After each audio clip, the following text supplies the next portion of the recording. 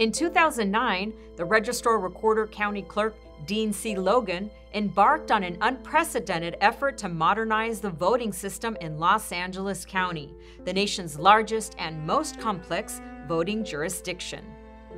Historically, voting systems are developed to satisfy regulatory requirements and the needs of elections administrators. However, Dean Logan had a different vision that focused on the voters of the county.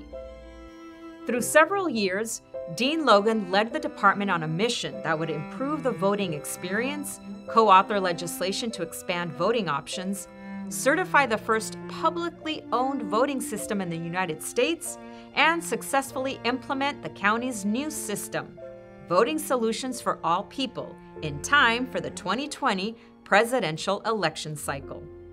Dean C. Logan, Voting Solutions for All People, is the winner of the Changemaker Award.